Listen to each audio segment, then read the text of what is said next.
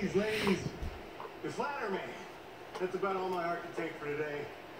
Be sure to come back Friday and work on getting some LED headbands for security, so...